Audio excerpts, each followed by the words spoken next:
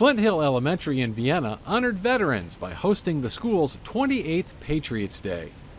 Active duty and retired military personnel were invited to the ceremony, which featured songs and skits performed by the students.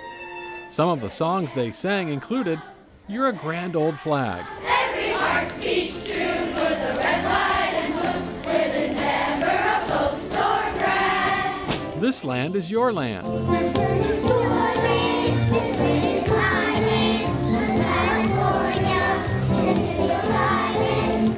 The Armed Forces Medley, where guests from the audience stood and joined in when their branch's song was presented.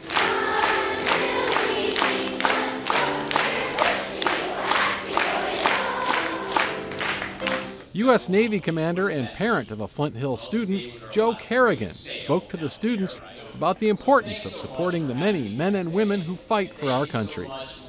The celebration concluded with a slideshow featuring all the members of the military related to the students and staff at Flint Hill.